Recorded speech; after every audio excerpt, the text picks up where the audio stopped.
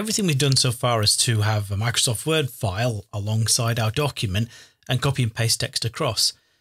At first, you know, it's a nice way of being able to see how we can take copy from Word and see that populated in InDesign, but it isn't really the most efficient way to work. Ideally, you'd place that directly into your InDesign file. So let's take a look at that technique for the remaining article.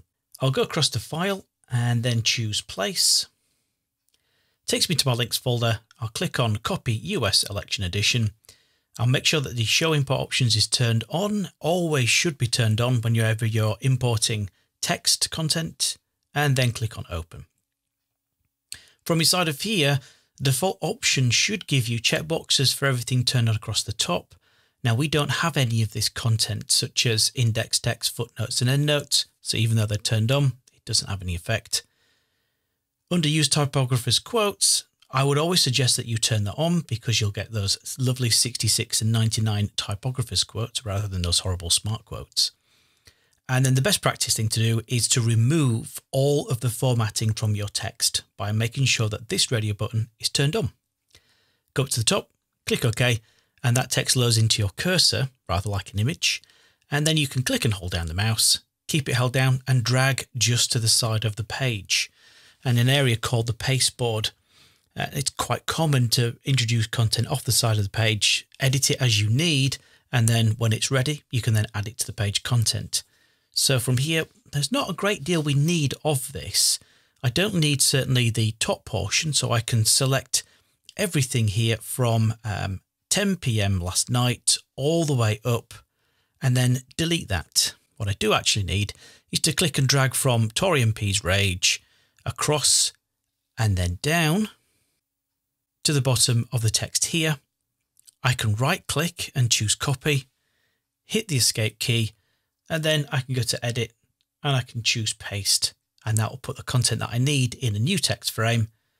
Move that just up here like so. And then just drag the bottom right hand handle all the way down here, just underneath the red arrow that we have. I'll pick up my zoom tool so we can get a clearer look at this. And then as I suggested in the previous video, apply the formatting to your text that's going to most predominantly be seen. And that is usually always the body, the main bulk of an article.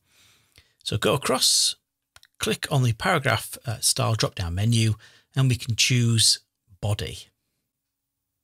That will apply that. Hover your cursor over the top line.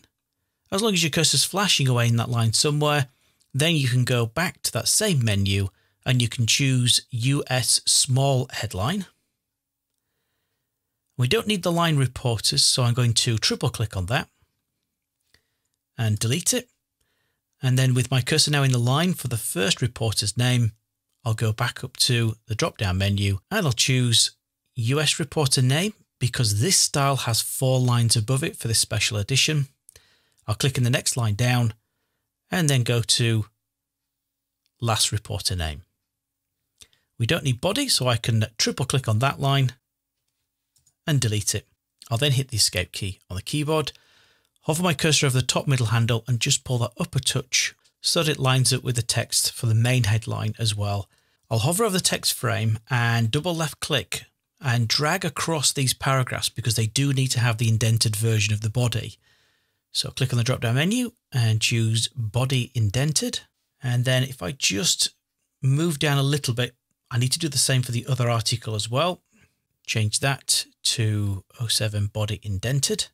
I can also see that I've got some stats to add in as well. So if I double click on the word candidate, I'll change that to Biden with 248, Trump with 214. Uh, spoiler alert, Biden does eventually win. And in the next video, we'll take a look at resolving the issue of our text crashing into those numbers and arrows.